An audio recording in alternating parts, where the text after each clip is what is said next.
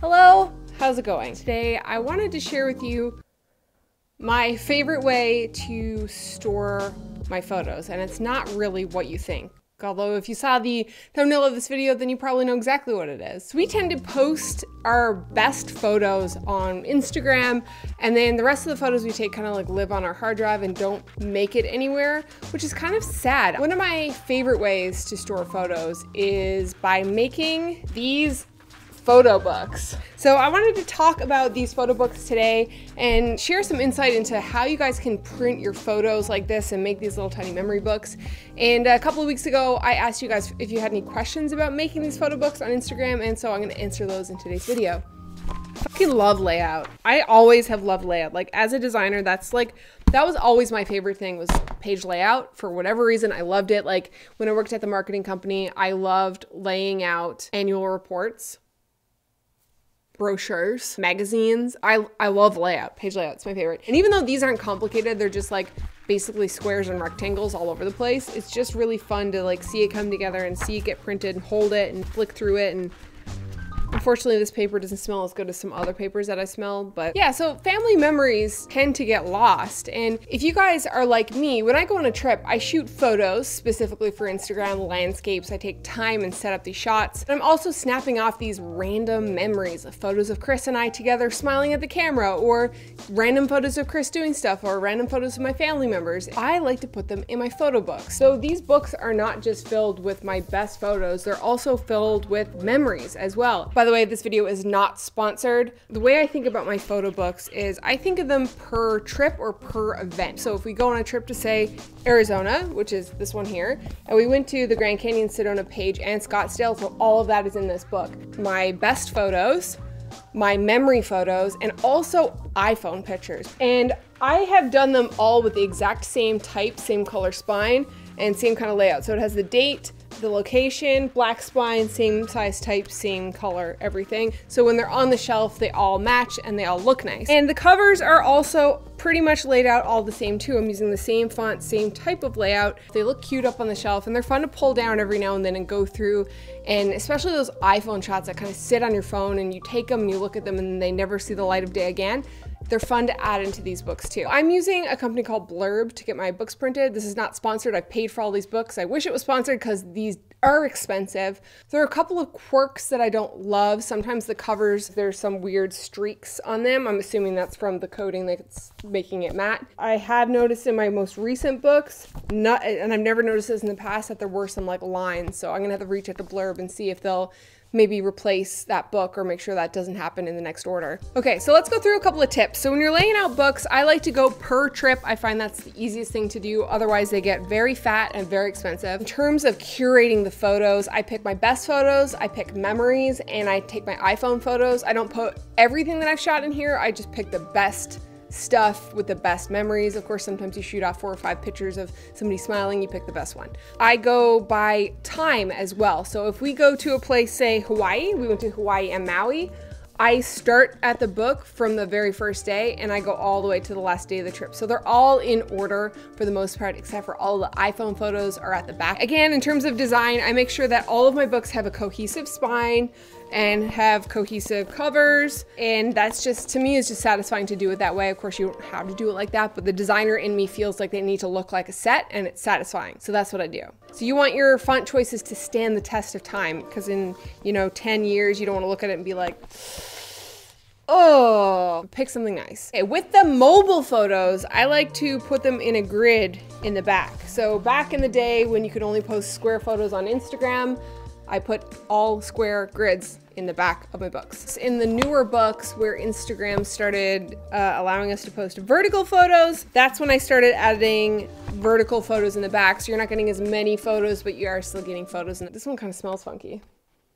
I don't know why. Usually paper smells fantastic. Okay, I'm gonna put these books down and we're gonna go through some of your questions. Goran.jpg is asking, how do you design the layout of the photo books? What software would you recommend? So in terms of layouts, Blurb has a plugin for InDesign. Of course, as you guys know, I am a designer, so I use the Blurb plugin for InDesign and custom layout all of my books to the way I like it, and then I send them a PDF. Okay, Anthony Steven Garcia is asking, how to aesthetically lay out multiple pictures on one page, especially with different crop sizes. So I basically come up with a, couple of layouts of how I like to show my photos. Some of the memories, I don't give them dedicated pages. So I've got a couple of different grids using horizontal photos, some where I can put vertical photos, and then some that's a mix of horizontal and vertical photos. Now, for my larger pictures, the ones that I feel like they could be printed bigger, that could be wall hangers, I dedicate a page or a full spread to those photos. Okay, my girl Kitty Atola Visuals says, what paper is best? Also best settings for exporting the photo before printing. I would always recommend if you're using a printer to look on their website to see if they have any specific profiles to use. Um, I like to use specifically through Blurb, the Proline uncoated stock.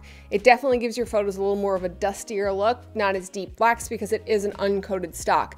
A coated stock or a pearl stock um, I don't remember, luster I think is the other one they have, will give you much richer blacks and probably more contrasty images. I just prefer the uncoated stock because I like the feeling of it and I like the way it looks. So look on the website to see if they have any profiles. Um, it will depend on the printer and the paper as well. The Liam Men asked, a chat about curation would be good. Reason for choosing the photos you chose. Do you pick slash order the images based on aspect ratio, tones, colors? Is it chronological? So I process my photos for my books the way I feel like that trip felt or the way that trip should be represented. And that means that they do not look the way they look on our Instagram, which is obviously all dark and moody. Some of them look like that, but you know, when we went to the Bahamas, Arizona, Hawaii, all those photos are really punchy and colorful and I didn't want to suck the colors out of that for my own memory. So I processed those photos to look the way I thought they should look based on the way the trip felt. In terms of curation, again, I'm going through all my photos and picking my best shots I'm also picking nice memories. Of course, like I said, if I have, you know, five or six photos of Chris and he's doing the same thing, I maybe pick one or two of my favorites and I put those in the book. And in terms of aspect ratios, it depends on the pages and what photos are up next in order of the trip. I have about five or six different types of layouts that I use, which you can see here, and um, that's kind of how I lay out my books. Okay, Christoph's Gallery is asking, do you use the original photo sizes or do you use a cropped version? And do you completely re-edit them for your own photo books? It depends. If the photo needs to be cropped in order to make me happy, I will use the crop version or I'll use the full size version. It depends. I don't crop them all vertically for my books. If some of them are landscape, I leave them landscape. Sometimes I will crop them even more panoramic to fit in the layout if I want. If you're printing your books, you wanna make sure that if you're cropping your photos, you're not cropping in too much that when you print it, it's gonna turn out pixelated or lower resolution. If you don't understand resolution, we actually made a video about it a couple years ago, I'll link it up here. You should check that out before you start printing your stuff. Ever, Evervolve, I'm so sorry. I want to know, do you pick and choose which photos you add to a photo book and what your workflow in achieving that is? Import all my photos through Lightroom. I go through and one star the shots that I like and I take out the ones that are either out of focus or overexposed or just not great shots composition wise. Go one star through the whole set of photos and then I start picking out my favorites from there and then I'll edit them. Now, my workflow for Instagram is I'll go all the way up to five stars and pick between one and five shots from the set that I've shot for Instagram and I'll edit them a certain way. But my two star, three star photos are the ones that usually end up in the book. So photos that I like that aren't necessarily Instagram worthy, they aren't necessarily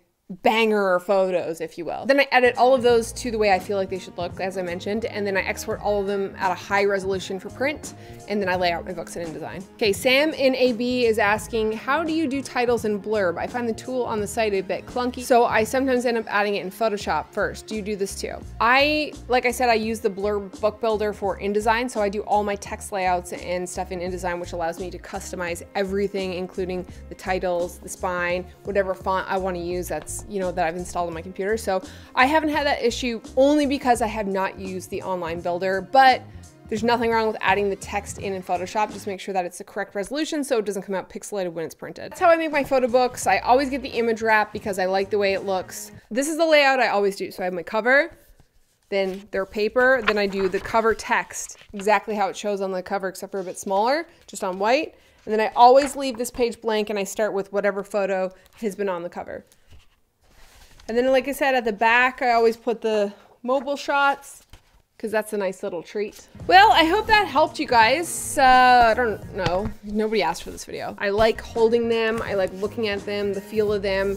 I love it when my family comes over and they take one off the shelf and they look at it. Everything in here is just nice memories. It's a nice way to kind of bundle everything up. Photos from your phone, photos from your camera, photos from whoever, whatever you want to do, you can do. And you can really have fun with it if you want to get funky with the layouts. So I hope you guys found this video helpful. If you did, give it a thumbs up, subscribe, and hit the bell so you get notified when we post videos. See you on the next one. Too far away. God, I'm tired. I love this one too. This one is one of my favorites. It's so Newfoundland. Just us at Cape Spear with a big Jesus wave. Look at that color. Look at that color. See, I can do color.